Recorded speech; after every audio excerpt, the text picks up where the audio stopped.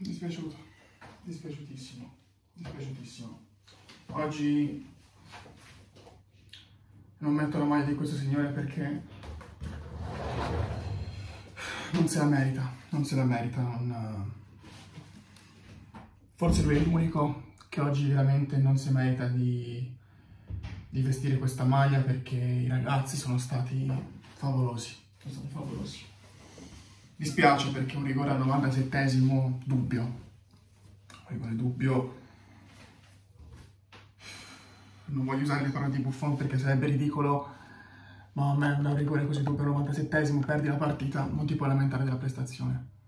Non puoi. Sei in vantaggio, li hai messi sotto nel primo tempo, hai preso una traversa che sta ancora tremando, hai fatto di tutto e di più, hai fatto la prima superlativa la sconfitta è solo un numero. La sconfitta è solo un numero che sta in alto a sinistra sulla TV. E come detto già dalla partita con Liverpool, vada a finire come vada a finire, il nostro obiettivo era giocarla. Perché se non vai fuori ai gironi, vai fuori agli ottavi. Non siamo... Non è l'anno che possiamo passare ai gironi. C'è comunque qualcun altro che comunque sia con una squadra nettamente più forte andrà fuori ai gironi. Quindi amici milanisti state tranquilli, c'è qualcun altro che, che, che, gode, che gode che a dicembre ci verrà a fine da bere perché ci troviamo nella stessa osteria da febbraio in poi e ce ne andremo a raccontare di pelle. Quest'uomo si è fatto esperire dopo 30 minuti, ci ha lasciato in 10. Mm, fallo ingenuo, con anche un po' di peperino dell'arbitro c'è da dirlo, non c'è da attaccarsi agli episodi arbitrali, è vero, è vero, non c'è da, attaccarsi agli episodi arbitrali, e... però ogni tanto vanno, vanno un po' menzionati, soprattutto se ti fanno prendere il risvolto, danno uno svolto negativo alla gara che stai facendo. Gara positiva, gara che se fosse stata una gara di campionato non avremmo giocata così, eh, perché Milan in Champions League è un'altra squadra però in campionato una, una gara così avresti vinta con chiunque. Abbiamo dato una squadra che ha un attacco che costa quattro volte la tua, la tua rosa, quindi puoi capire che quando, quando sti qua cominciano a mettere dentro Griezmann, cominciano a mettere dentro Lemar, cominciano a mettere dentro chi vogliono, cioè va, Simeone va alla panchina, dice che oggi ti vuoi giocare, tu vieni, andiamo, domenica giochi tu, eh, tanto a me non cambia nulla, quando giochi contro una squadra così tu che hai riserve contate, tu che eh, se ti esce Rebic, ti entra Bellegri, capisci che se vinci, è un miracolo se vinci, non se perdi. Loro gli è passato a spingere 10 minuti, fino all'ottantesimo stavamo 1-0, non ci stavo a credere, poi una varia circostanza di cose ha fatto sì che la partita si perdesse. Non è la, non è la prima volta che perdiamo al novantesimo, non sarà l'ultima, e non sarà neanche l'ultima volta che affronteremo una squadra così forte. Fa male, dispiace, fa male, cioè, certo. Certo, non vedo Milan vincere la Champions League dal 2013, perché nel 2014 mi ha fatto due partite, tra l'altro contro l'Atletico Madrid, perse 3-2. Siamo a sperare nel Porto e sperare in pareggi tra Liverpool e Atletico Madrid, anche se la cosa pare un pochino utopica. Diciamo che potevamo puntare al pareggio, potevamo farlo, potevamo, questa partita potevamo pareggiarla. Vincerla, vincerla era tosta, vincerla solo che quando tieni duro, tieni duro il tuo portiere si fa male perché Megnan non sembra si è fatto male, Tonali si è fatto male e a un certo punto a pezzo fino alla partita erano tutti rotti, tutti distrutti. Questi qua hanno spinto due minuti, hanno fatto due gol. Uno bello, bellissimo, mezza cappellata di Florenzi, che ragazzi è un acquisto che io non ho ancora capito perché sia stato fatto.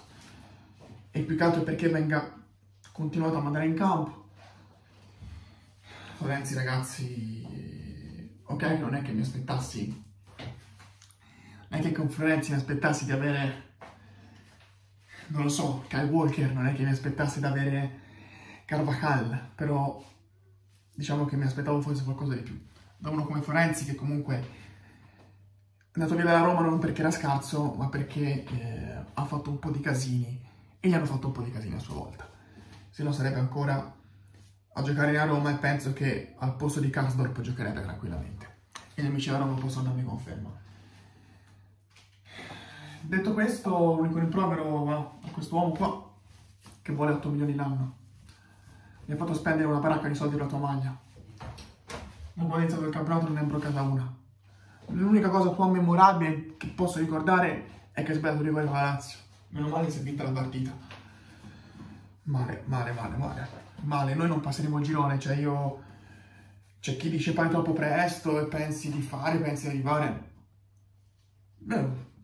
Saremo in Europa League su lo stesso coglione dell'anno scorso. Ovviamente arrivassi in Europa League avrei qualche motivazione in più per giocarla, ma... Pace. Perché c'è chi dice che pensa che dobbiamo vincere, che dobbiamo fare, che dobbiamo arrivare, ma io non ho detto mai niente. Non... Dobbiamo vincere le partite. Quello sì, io, io voglio, io credo che il Milan vincerà le, le, delle partite in Champions League da qua alla fine del girone. Almeno una, due, toglieteci soddisfazione. Non abbiamo la cosa per farlo, non abbiamo... Non abbiamo... non siamo attrezzati giusta la politica che finché il bilancio non torna positivo di grande mercato non se ne parla, è una cosa che condivido pienamente con la società, perché è meglio fare un mercato grosso con bilancio positivo che tanti mercati buoni con bilancio negativo. E io sono convinto che prima o poi quando il bilancio tornerà in verde invece che in rosso, non dico che diventeremo la squadra più forte nel mondo, però sicuramente il livello sarà un pochino più alto rispetto a quello adesso. Purtroppo, ripeto, già detto contro Liverpool, ci sono tanti, tanti, tanti calciatori che sono la loro prima esperienza in Champions League e quindi vanno un pochino capiti. Niente, analisi io non me la, a parte con che sì, non me la sento di prenderla con nessuno, me la posso prendere con, con Florenzi per essersi un pochino addormentato sul gol del, dell'1-1, di aver perso malamente le Mar, me posso prendere con Calulu per un fallo che un rigore che va visto e rivisto, eh. Però il risultato non cambia ciò che ragazzi è andato in campo. Di solito mi vedete incazzato per le sconfitte, cioè paradossalmente l'ho più incazzato domenica per la vittoria con lo Spezia che oggi la, per la sconfitta col, con l'Atletico Madrid perché l'importante è come tu l'approcci una gara, come tu la giochi, come tu vai in campo, con che mentalità la fai. Noi l'abbiamo fatta... Abbiamo giocato la Milan di Champions League, purtroppo la mentalità è da Milan di Champions League, purtroppo gli interpreti non sono più quelli una volta, noi siamo abituati male, siamo abituati a vedere un Milan in Champions League che va con Cafu, va con Maldini, Paolo, va con Sedolf, va con Pirlo, va con giocatori che si bendono e giocano a pallone uguale. Purtroppo va in campo con Makers, va in campo con, uh, con Calabria, va in campo con uh, Benaser, va in campo con Brahim Diaz, che sono buonissimi giocatori, però non sono assolutamente paragonabili a quelli che una volta con cui andavamo a insegnare calcio nei campi d'Europa.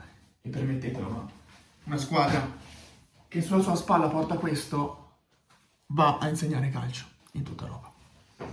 Non ci sarà la reaction domani perché purtroppo stasera non ero possibilità di vedere la partita. Sicuramente la reaction ci sarà, sicuramente provo a farcela venire domenica per... Um, Atalanta-Milan, che sarà una partita molto tosta, e in cui vi dico già che non sono sicuro di vincere, ma nel di pareggiare, tra l'altro a Bergamo, e vi chiedo sempre supporto. Lasciate like al video, iscrivetevi al canale, non sono incantato, sono piuttosto amareggiato.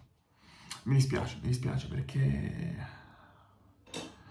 oggi non rimprovero veramente niente. Grazie della visione ragazzi, sempre forza Milan, oggi più che mai.